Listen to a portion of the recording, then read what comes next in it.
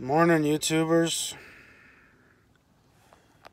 Salty Castaway here. I um I am waking up in Idaho. Yesterday was equal parts awesome and equal parts difficult. Um, getting in and out of Yellowstone. It wanted to keep me, so um,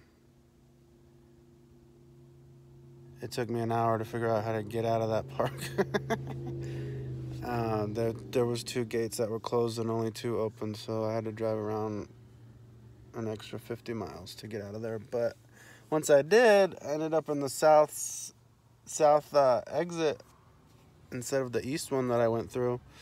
I didn't want to backtrack, and the south exit of Yellowstone goes through like three national parks itself, and there's no rest areas in national parks. There's turnouts that you can hopefully not get messed with by staying there or, you know, bears and all that kind of crap. But I pushed myself 175 miles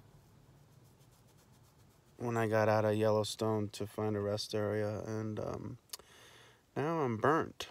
And today is going to be a mellow day. I don't even know if I'll do 100 or 200 miles or what, but I need to uh, recharge.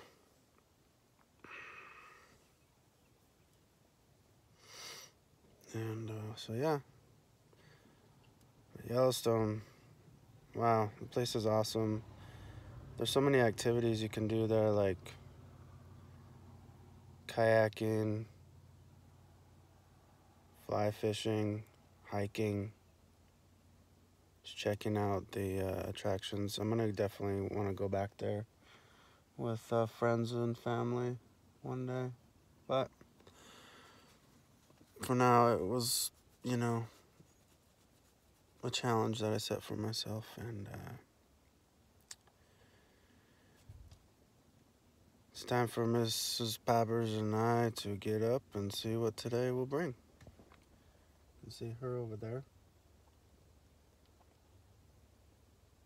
Still tired and sleepy too.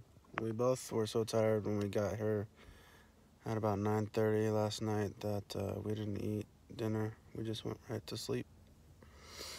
So yeah, um, it's not like I don't have 20 pounds I need to uh, shed anyways.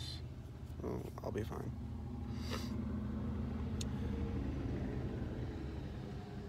Peace out, YouTubers.